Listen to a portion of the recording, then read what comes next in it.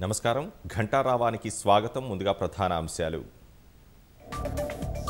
తెలంగాణను డ్రగ్స్ రహిత రాష్ట్రంగా తీర్చిదిద్దడమే లక్ష్యం. నియంత్రణకు కృషి చేసిన అధికారులకు శ్రీనివాస్ గౌడ్ సన్మానం.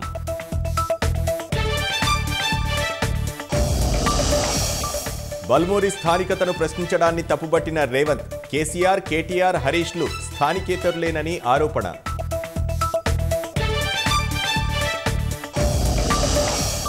ఈ నెల ఇరవై తొమ్మిది నుంచి నవంబర్ రెండు వరకు ప్రధాని విదేశీ పర్యటన పదహారవ జీ ట్వంటీ సదస్సులో పాల్గొననున్న మోదీ.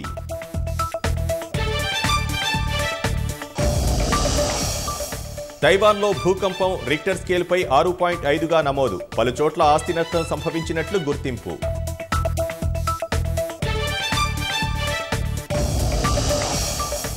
ఐపీఎల్లో రెండు కొత్త జట్ల రాకతో బీసీసీఐకి కాసుల వర్షం. ఒక్కో జట్టు ద్వారా ఏడు నుంచి పదివేల కోట్లు ఆర్జించాలని ప్రణాళిక.